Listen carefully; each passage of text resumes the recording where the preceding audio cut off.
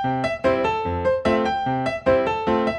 んにちは、卵ソムリエのゆかりです。えー、今日は究極の卵料理シリーズでございます。で、今回作るのはですね、究極のフレンチトーストを作りたいと思います。でフレンチトーストはね、何回か動画でもご紹介しておりますが、えー、今日はさらにちょっと手間を加えた、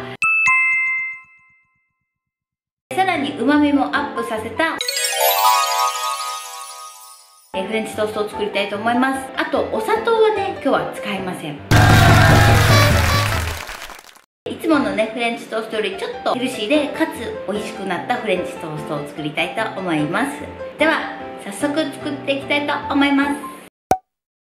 はい、材料はこちらです。卵が2個、牛乳が 100ml、甘酒が 100ml、食パンが1枚、こちら4枚切りでございます。であとはトッピングで粉糖、メープルシロップ、そしてバターを使います。はいまずラップの上にパンを置いてラップでパンを包みます。はいそしたらこれを一旦冷凍します。はい卵液を作ります。ボウルに卵を割ります。これを溶きほぐします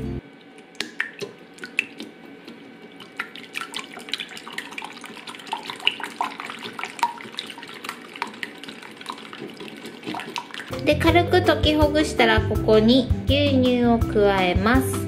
と甘酒を加えます。で混ぜます。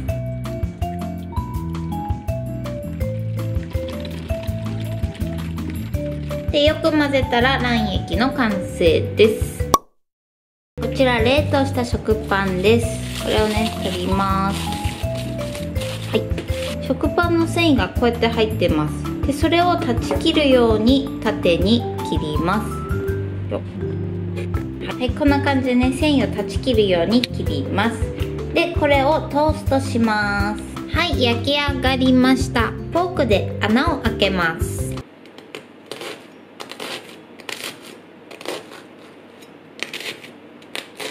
でこっちも数箇所穴を開けます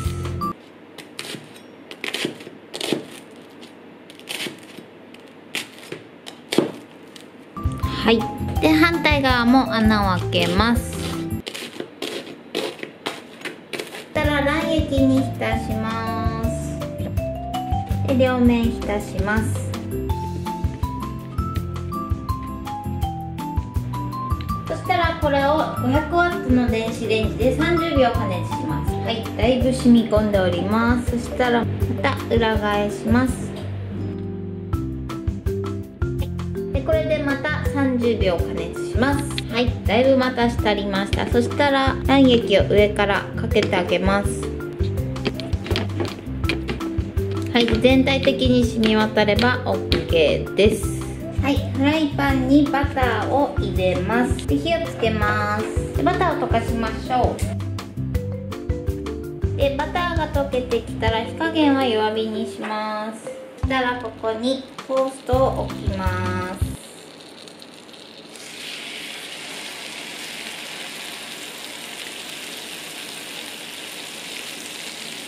はい余った卵液をかけます。で蓋をして焼いていきます。はいということでただいま焼いております。皆さん確定申告やりましたか？確定申告ねまだ終わってないんですよ私。ね3月15までですよね確定申告。やらないとやばい。まあためすぎました。なんかね毎年こう何て言うんですか1ヶ月ごとちゃんと計算してやっとけばね簡単なんですけどね。なかなかとはいえ今年こそ毎月ちゃんとやりたいな経費計算ねそうすればね楽なんですよね。っていう。そう聞いてくださいよ。まあ昨日あのクレジットのね明細の明細見てあの経費計算してたんですよ。確定申告のね。結果から言うと知らぬ間にプール系のやつに登録していてで月なんと2000円も取られてたことに今気づくっていう。プールとかも1ヶ月無料みたいなやつあるじゃないですか。で多分そのやつで映画を見てでそのままにして気づかなかったっていう。そうねこれよくあるんですよ。それで毎月知らぬ間に行かれてるっていうね。ああいうのって怖いですよね。なんか家とかにこう支払い書とか来ないじゃないですか。でクレジットで直接引き落とししてるから毎月ちゃんとね明細をチェックしないタイプの人間とかはね見落としがちですね。なので皆さんちゃんとね自分が登録したものは気をつけて見るようにしてください。ねそうそうなの。だから無駄にじゃないけどだからそれ一回見て多分え見たい映画があってで登録してそっから1回も絶対使ってないんですごいもったいないですよね。そうすごいもったいないと思って昨日なんか1人でしょぼんってしてました。ということで皆さん気をつけてください。最近そういえば私ご飯をねもち麦ご飯にしてるんですよ、えー、今度ちょっとダイエット途中経過報告動画でちょっとお伝えしようと思うんですけどね。最近ちょっともち麦ご飯に変えてねいろいろ取り組みをしております。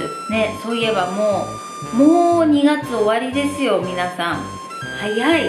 もうね2019年2ヶ月終わってしまいましたが皆さんどうですか？どうですかって何ですかって感じだと思うんですけど。いやーもうあっという間。今年はねちょっとパソコンを買い替えようかなと。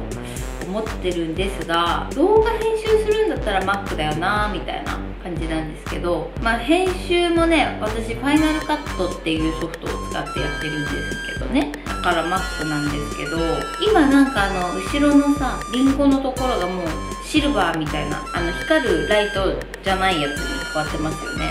あれかっこいいですよね。Mac 使ったら Windows でね本当に使えなくなったというか使い方が全くわからなくなりました。前まではね Windows ずっと使ってたんですけどもう Mac 使ったらもう使い方さっぱりみたいな、えー、ということで、えー、料理に戻りたいと思います。つけます。おお結構ふっくらと膨らんでいますね。でそしたらひっくり返します。こっちもひっくり返します。でまた蓋をして焼きます。はい。おおふかふかに焼き上がりました。ではこれを取り出します。シロップをかけます。で粉糖をかけます。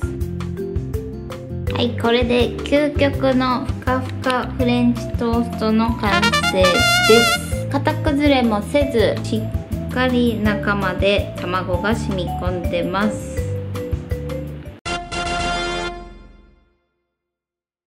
ということで今日は究極のフレンチトーストをご紹介しました。作り方のポイントですね。ポイントのおさらいでございます。まず1つ目食パンを冷凍します。